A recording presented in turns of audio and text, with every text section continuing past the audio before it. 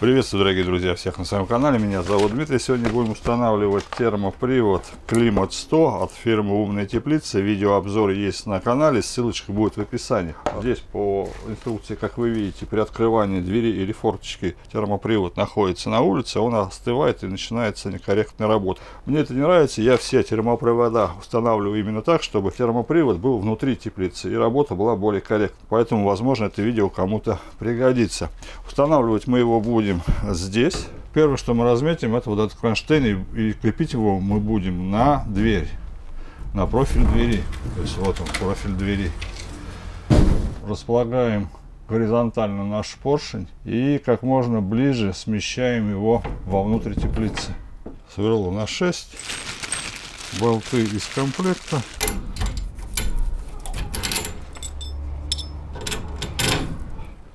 Выравниваем по горизонтали.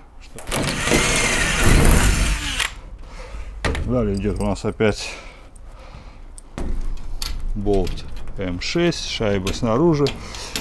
Поликарбонат я открутил для того, чтобы было удобно вставлять его. Дальше размечаем наш цилиндр. Здесь очень удобно в этой комплектации, что это короткая, это длинная шаровая. Поэтому шаровая у нас пройдет через весь профиль. Обязательно охлаждайте, закрывайте дверь в закрытом состоянии, дверь должна быть, да, и начинаем разметку. От себя добавлю, что по центрам вот эти отверстия делать на расстоянии 39 сантиметров. Плюс-минус миллиметр.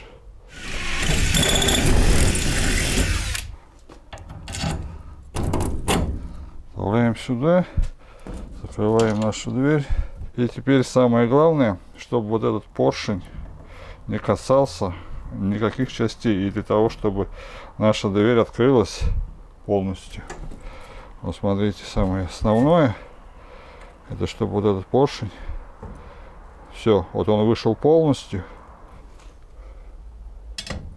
А здесь у нас выход 10 сантиметров, это все нормально. А дверка открылась где-то на 85 градусов, она у нас ни за что не задевает. То есть ни здесь, ни здесь нигде не должно задевать. И также при закрытии. Поэтому вот этот вот кронштейн, в принципе, в этом случае можно было сверлить по центру. Как вы видели, я немножко сместил для того, чтобы увеличить вот это расстояние, чтобы был такой полукруг и чтобы не было никаких задеваний. Вот он все открылся. Значит, особенность этого поршня в том, что его можно открывать, закрывать, заходить. Но если будет жара 30-40 градусов, то у нас получается так, что дверь мы не закроем. Но нам и ни к чему закрывать, да?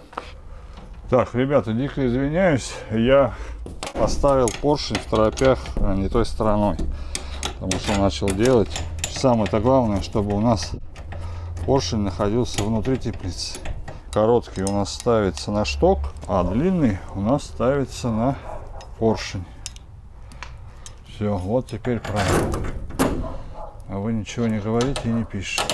Здесь мы можем использовать удлиненную гайку вот таким образом. Большая увеличенная шайба позволит нашей пружине слететь вниз. Все, пружина здесь готова. Ну а дальше наш болт, пружина.